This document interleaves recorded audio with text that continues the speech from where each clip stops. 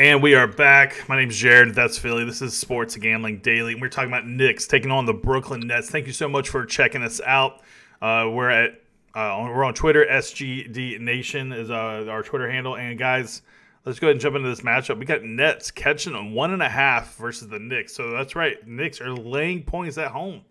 Uh, kind of crazy. Knicks are 12 and 34 on the season. Nets are 19 and 25 on the season. Last time these two teams played, however, this was back in uh, the, the Nets Stadium in or Nets Arena, and the New York Knicks uh, blew them out by 11 points, 94-82. I don't know, man, uh, but that was without Kyrie Irving. That's without a couple other pieces in that matchup. I feel like both teams are relatively healthy uh, for this part of the season. And Yeah. um, you know, I kind of see this going the other way. What do you think?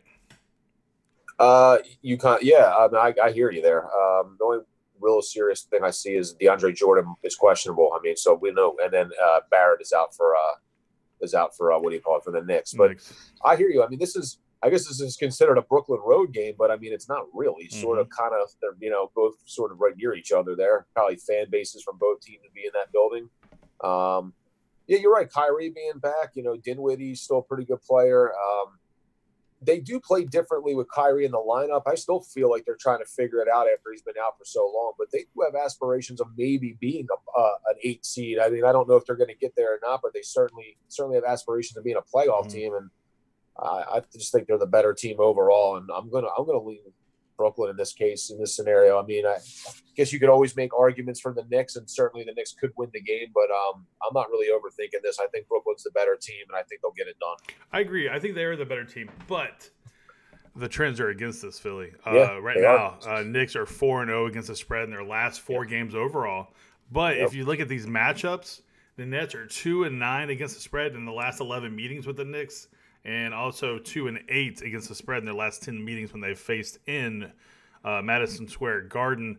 So, uh, so we're we're trying to buck the trend here, but I just it's hard for me to take any other team but the Brook, uh, Brooklyn Nets here because I do feel like they're the better team, uh, even without DeAndre Jordan. You know, I like LeVert, I like uh, Dinwiddie, I like you know Kyrie Irving. I I just think uh, Jarrett Allen. I just think that Yeah. they are the better team here, so that's where I'm going to go with it. And uh, if, if I'm only, I, I, and, and you're giving me a point, right? I mean, so Yeah. I mean, okay, thank you. Yeah, it might be a trap, but I'll take. I'll step into the trap, and I I won't. It won't hurt my feelings. So, I agree. guys, let us know. Will it hurt your feelings? New York Knicks or New York uh, or the Brooklyn Nets? Yeah, definitely be interested to hear what you guys say about this shit show. And uh, if you like more uh, video content like this in the future, uh, give us a thumbs up, uh, subscribe to the channel. We'll move on to the next video. Yeah, guys, we got the uh, who we were. Oh yeah, the Pacers taking on the Portland Trailblazers. We'll see you right back right now.